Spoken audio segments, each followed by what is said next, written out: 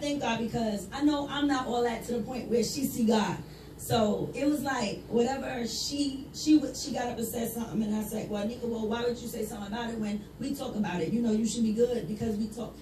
I did, I said, "Well, um, I should just, you know, I said, well, Nika, you don't have to talk about it. You know, let, let it let it go, let it go." But she was like, "Ma, no. All I wanted," she said, "I just wanted Pastor to have something to say about it. I didn't want everybody's opinion. And I said, yeah. She said, Ma, um, yeah, you shouldn't have said nothing. And I, I, I value my daughter's opinion of what she says. So I thank God for my children that they talk to me. They help me. They'll tell me, Mom, you was wrong, you know, and I like that. Like my girls don't sugarcoat nothing for me, and I don't sugarcoat nothing for them. So I, I just thank God for being here, being on the altar, being able to say that, because not everybody do that. Not everybody care how, how they how they how they make a person feel. Not everybody do that. I'm I'm that person, and I did sleep good at night. It wasn't that I couldn't sleep because I did sleep good, but I know how to make things right. So I, I just thank God. So I'm gonna go on with my lesson that I know that God gave to me. Um, and I, cause I, I was like, I did tell Pastor earlier today, I said, I can't go on and go forth in the word. I just felt uneasy about Wednesday, but I was like, he, he's, you know, God told me it's not about you. You know, you got work to do. Just like we all got work to do. It, and it's like I, I, cannot, you know, not go forth for Him. God, go forth um, and not tell of His goodness.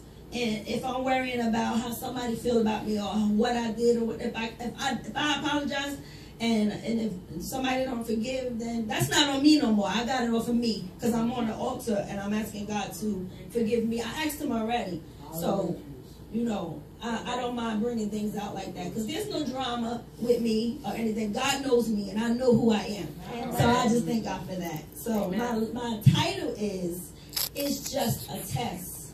You are coming out. And I know he gave this to me. I'm just like, I said, well, Lord, what do you want me to say? If, um, you, y'all can go to Psalms 26 and 2.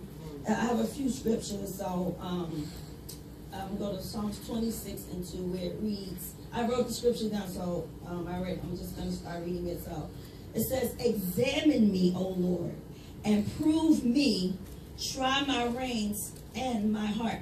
So if if God is gonna, if God, you asking God to examine you, even even any of us, you know, we just have to ask God, God, show me me. When I pray, show me who I am. Oh, and did I do the right thing today? Did I say the right thing? Did I, did I roll my eyes? Did I make a facial expression? Did I say something or do something to somebody where today I may have messed up my myself from trying to make it in. Because when you lay down in your bed at night, you got to make sure that you are right. You got to make sure your, your path is clear. Because if it's not, there could be a problem. And I, I never want to go to bed that way, and none of us should want to do that.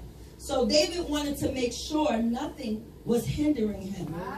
So when we going through so much, we may ask God, um, and it's normal. Why? It is normal when it's one thing after the other, and you're just saying, "My God, Lord," you know that first thing may happen. You say, "Lord, I trust you. I know you got it. I, I believe you. It's gonna be all right." Then the next thing happened, and the next day or the next ten to fifteen minutes, it's like, "Okay, Lord." Like, oh my God, now, now this, like, you have got to be like kidding me right now. You know, the, the, the tire went flat. That's why I just ran over there. Like, my, I've been looking for a tire all day. My tire was wobbling all the way over here all day, in Jersey City. I was up early looking for a tire and I could not get it because my tire was bad. I, every little thing was trying to stop me today. And I said, it must be for me to come because Amen. everything was in the way. And I said, no. Amen. So I ran over there real quick. I got here at 7 o'clock. And I ran. Nika said, are you serious, man? You going said, I got to get this tire. Because by the night I saw he was open, nobody in Jersey City had my size tire. So I, I, this guy had it. I went to him. Amen. So I just thank God for, for that. Amen. So Amen. it's like one thing after another. And, and it was like Tiara, she she going through a lot. So I'm trying to help her.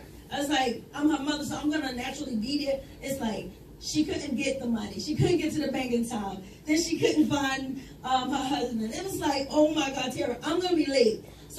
So it was just like so many things just oh, yeah. testing me and trials. And tests and trials only come to make us strong. So I thank God for, for all the tests and trials that I went through when I went through that sickness. I, I forget sometimes. It's like Never forget where God brought you through. Because sometimes I think about that when I went you know, rheumatoid arthritis and lupus, and it was all on me. I was I was limping. I oh, couldn't walk. I oh, couldn't do nothing. I was in a lot of pain and. And I, I, I tell you, I, I tried everything. Somebody said, "Oh, you should try this." I took it. I tried that. Every little medicine that somebody said, girl, you gotta try this. And I tried it. I was drugged up. You can't take everything somebody tell you. So many obstacles can come in our way, in our way to where we can't even see the finish line. It's like, okay. And now it's really cloudy because it's like, I trust you, Lord. I believe you. I know you there. Amen. So why can't I see the end of this? It's like it's like um, that movie, the um, it, it's um, Bruce Almighty. It's, that movie is so funny to me. But it was funny how he asking God, show me a sign. And he put all this truck rides up in front of him with all of these signs. It's saying stop, yield, do not pass, do not enter, all of these things. But then he got annoyed with the truck. The truck was in his way. So it's like you asked for the signs and God sent this truck with all of these signs in front of you. Now it's in your way. So you can't, you you like, you beep, beep, move out the way. You're in my way. He don't even realize all the signs. Just slow down. Stop, Amen. yield, mm-hmm. take a breath, Amen. breathe, and Amen. but sometimes we don't get we don't get it. We just don't. Oh, we don't see the finish line. We cannot get it like that. So we get annoyed, we get upset, but James said, Count it all joy. Oh, yeah. And James 1 and 2. Hallelujah. And I'm telling you, do, do it all. Do oh, it yeah. all. Do it all, Nene. Count it all joy because it's no way in the world he is not going to see us through it. So I, I, just I just thank God for joy. Like you were just talking about something. And then we have the divine appointed test. That's Job 1, 7 through 8. That's um yeah, y'all can go to Job 1, 7, 7 and 8. So it says, And the Lord said unto Satan, Whence comest thou? Oh, yeah. Then Satan answered the Lord and said, From going to and fro oh, yeah. in the earth, and from walking up and down in it. Oh, yeah. And the Lord said unto Satan, Hast thou considered my servant Job, that there is none like him in the earth, a perfect and upright man, one that feareth God and escheweth evil. Now I went over this, I, I'm laughing because I don't know. I just I don't know why I found. I try to find humor everything. I'm if, if you if you really know me, I'm I just I just like to laugh. I like to have fun. I mean, you play. And I try to find humor in everything. Even Nika knows. Earlier today, I was just saying I can't even go through it. But um, and so and the Lord said unto Satan, and He said to Satan, Whence comest thou? Like, where did you come from? Oh, yeah. This is the thing. It's like you come, you come into the house of God. Even if you could get at work, everything could be good. Your day good. You got money. You got you got gas bill up. Everything. Bam! It's like, where did you come from? Oh, yeah. Why are you here? Why are you around me? Why are you oh, yeah. trying to get in my space? Mm-hmm. Leave me alone, Satan. Yes. So he's like, like, whence comest thou? Then, now, then Satan answered from the Lord and said, going to and fro in the earth and from walking up and down in it. That's from being any and everywhere. We, sometimes it's not where we're supposed to be. I, I can attest to that. Just being where you're not supposed to be, just hanging, doing things, talking to the wrong people, gossiping, running your mouth. That that's happen, that happens to all of us. So, oh, and the Lord said unto Satan, Hast thou considered my servant Job? Oh, yeah. That there is none like him in the earth, a perfect and upright man, one that fear of God and escheweth evil. He he did he did he did, he turned away from evil. He means tell me he avoided conflict. Mm. Sometimes you could just try to be so righteous. You could try to be so holy. You can just try to avoid the conflict. You can try to avoid, and somebody put your name in something, and it's like, I like I have nothing to do with that. But no, but you could have just said, mm-hmm and now you're in it. So it's like you can't even win for losing and sometimes. So Satan is a liar. This is what I say about him. He's a liar. He will lie on you. He will cheat. He will do all. He have you believing. He have you believing what the enemy said about you. What, what oh the enemy said about you. You don't believe what he said about you. And and all all that Job had, Satan said. I mean, Satan said Take the hedge of protection off of him oh, yeah. and watch him curse you. And that's that's how that's how it be sometimes. It's like long as everything is good, everything looks good, everything feels good, everything is right, and you whistling and bubbly. it's like if, if that hedge of protection is moved, or say, say like um say like I, I say my, my husband loses his job or um I, I just totally lose all my income it's like now what like anything anything in your life you know just um something that may just happen and, and a boom split second you like that hedge of protection oh, is yeah. gone. It's like now what do you do? Now oh, what do yeah. you say? Saying like i got you in the corner. So what are you going to do now?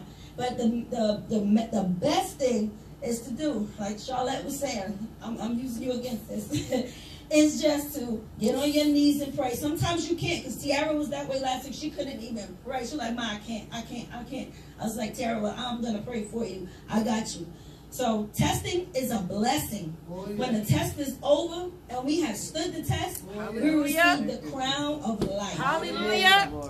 James 1 and 12 is blessed is the man that endureth temptation. Oh, For when he is tried, oh, he shall receive the crown of life, which the Lord had promised to him that love him. Oh, it is also comforting to know that he will not put more than we can bear. Oh, and in 2 Corinthians 12 and 9, and he said unto me, My grace is sufficient for thee, mm, for mm, my mm. strength is made oh, perfect in weakness.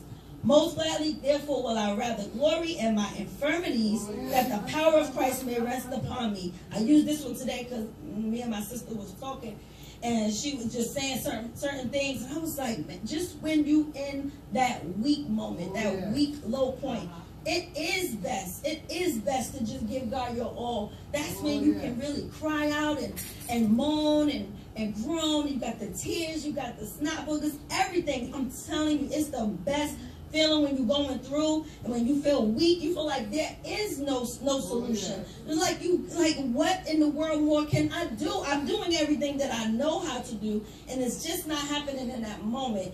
But his his grace is sufficient. He is enough.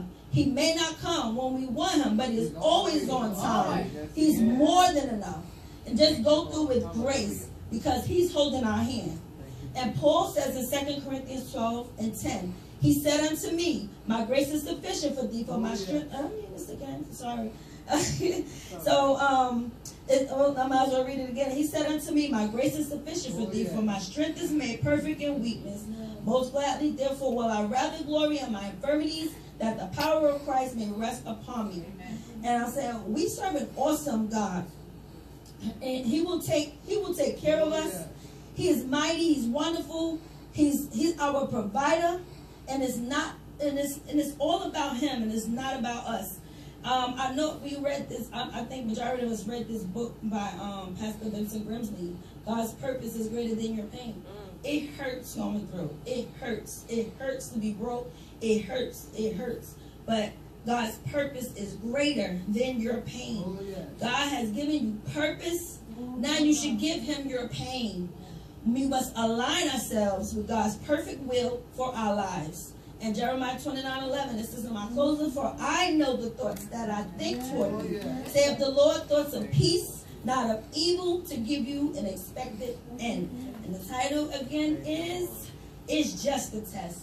You are coming out. May God bless. Amen.